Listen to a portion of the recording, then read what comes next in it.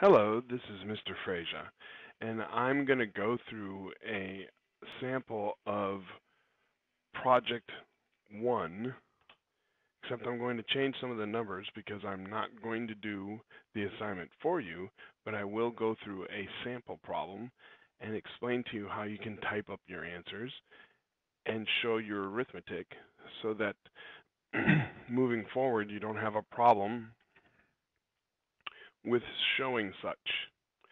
So the first thing I'm going to do is let you know I'm changing the dimensions for the fish food. It's going to be one-fifth by one-fifth by one-fifth. And then we're going to change the shipping box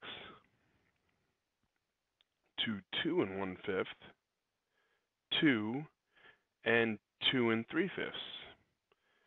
So let's go ahead and do that now. And I'm going to go ahead and open a new Word document so you can see how we're supposed to answer this and not copy and paste. Okay, so here we are. I'm going to go ahead and type in the measurements. The smaller box was one-fifth by one-fifth by one-fifth and we're trying to put together the fact that when we say by, we're talking um, multiply, okay? This would create part of our unit cube.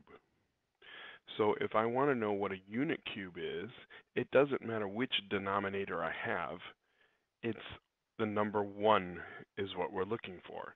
So when I do 5 times 5 times 5, and 1 times 1 times 1, if we're finding volume, it would be 1 125th. Alrighty, because we multiply that, and that's the volume of the small cube. Now, moving forward, if I was going to make a unit cube, I would need 125 of these because a unit cube would be the number 1. So that means 125 over 125 would make one unit cube. I'm hoping this starts to make sense. So regardless of what the denominator is, the number 1 is represented by having the exact same amount in the numerator. Okay, so now we go ahead and multiply it. You have 16 fifths.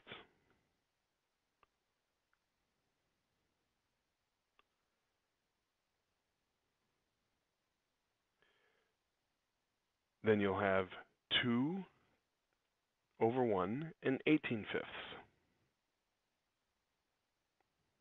Now in the notes, there was a shortcut way to show this. They just did each side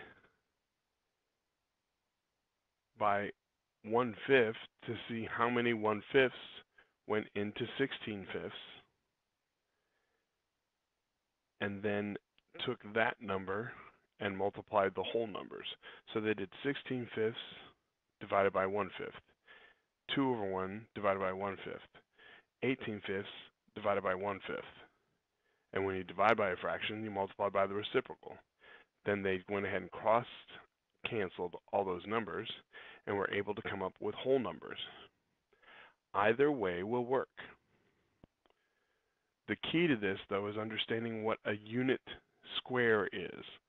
So after you find how many little boxes, how many fish boxes go into the big box, then to figure out the unit square, you would divide by 125 so that you can figure out how many unit squares it makes.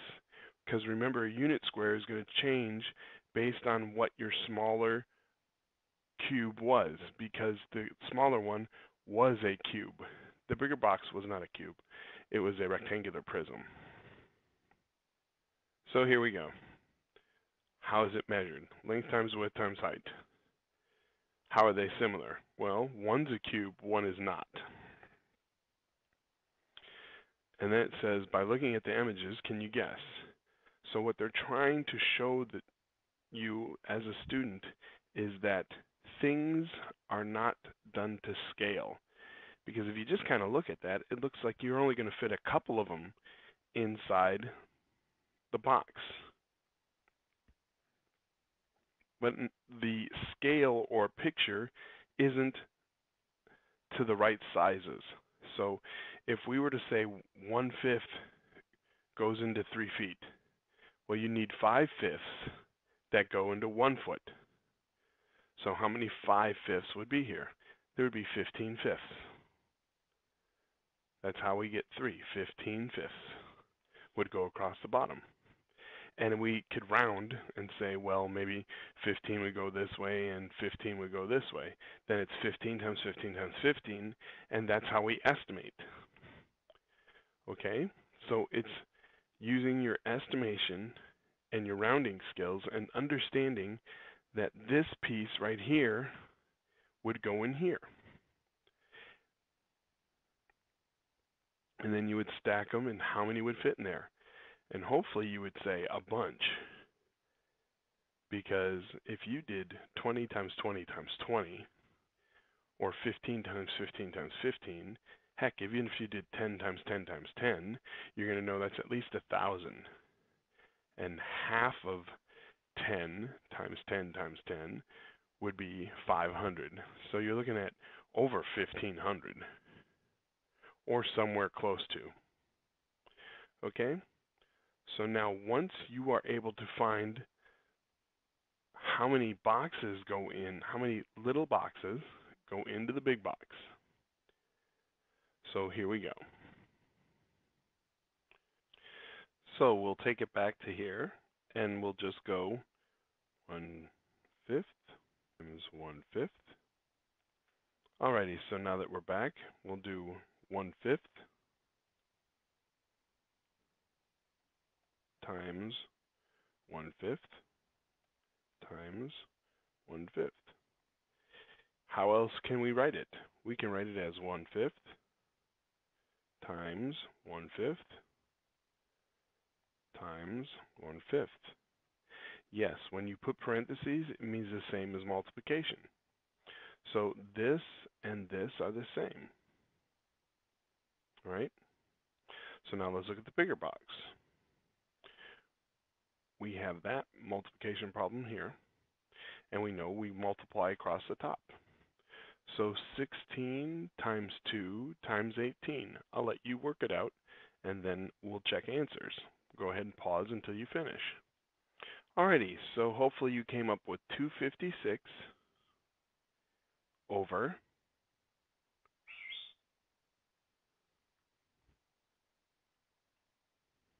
All right, so hopefully these are the two answers you came up with. So now we figure out how many smaller boxes go into the big box, which would be a division problem. So you could write it out like this. 256 over 25 divided by 1 divided by 20, 125. And hopefully we remember that when we divide fractions, we actually multiply by the reciprocal. And that's a key part of this, understanding the vocab. So here we go. Go ahead and do that and show me what that looks like. Alrighty, hopefully you got 256 over 25 times 125 over 1. Alrighty, now we can reduce before we multiply. I am hoping that you knew that there were five 25s that go into 125. So we have 256 over 1 times 5 over 1. So now we get our answers. There's 1,280 fish boxes that are 1 by 5 that will fit inside of the bigger box. It's a lot of fish boxes. All right, so now if we wanted unit cubes, we would take that answer and we have to divide it by 125 because 125 out of 125 makes one unit cube. So if we take all those cubes and we divide it by 125, we can now figure out how many unit cubes there are. So now we do 128, 80 divided by 125, and this would give us how many unit cubes there are. Uh, pause it and wait for your answer. Yes, there would be 10 unit cubes, 10 unit cubes with smaller cubes left over. And that remainder is written as over 125. So I'll give you a second to figure out what that remainder is. Remember, we're not changing it to a decimal. We're seeing how many times it goes in and then writing the remainder over the fraction. And hopefully you got the answer 30 smaller cubes left over. All right, so now that we've done the arithmetic, let's go back and just look at what they asked us to do. All right, so now when we're looking at our options, we are able to figure out how volume is measured, the differences between and similarities between the two objects, looking at the images, taking a guess, and how did we guess? Remember, you have to come up with your own guess. Did you round? Did you average? Did you look? Did you look at the picture and see? You could be wrong. Did you look at the picture and think they were the same scale size? So that's what they're trying to see. And then when we do the work for two, you should be able to do the arithmetic and type it without a problem now and say, oh, well, this is how many fish boxes fit inside. Now, there are different ways of doing it, and if you follow your notes, they actually show you step by step what you should do. It's okay. Some of you think outside the box. It's not necessarily you have to do the same work. It's the fact that your work has to make sense to you. So when you find the packing cubes, the packing cubes are your big cubes. And then when you use the formula, why would they both be the same? Well, your two measurements should be the same for what reason? Explain. So this is the part where you have to think. Why is it that the packing cubes gives you the same answer as the volume formula? and you should be able to see the connection in the arithmetic that you wrote. All right? So do the best you can, because even if you get that last part right or incorrect, the majority of what you've done, you've been able to prove. Terribly big stumbling block. It is at times because this is a multi-step problem. So when I start talking to you guys and I let you know that the biggest difference in advanced is the fact that when you do things, you have multi or compound questions. One question doesn't have one answer. It has two different things. So like look at part one. What is volume? How is it measured? They want you to give two different answers. How are they similar? How are they different? You need to give two different answers, even though it's only in question two. Part two. So when you're doing your work and you're pulling it up on your document, you should label it that way. I would say label it like this. Part one. One. And then give my answer. Type in my answer. Part 2, type in my answer. I do not need you to copy and paste the questions. That will cause academic integrity issues because they're going to think you're copying it from other sources. So it's really important to avoid cut and paste. Never cut and paste, period. Just type in the answers. All right, guys, I hope this clears it up. Please reach out if you have any questions. You will see that I have now extended hours on Tuesdays and Thursdays to try to help accommodate some of the high volumes of questions. And continuously look for these help videos in my black button that says help videos on my homepage. Thank you very much. Bye.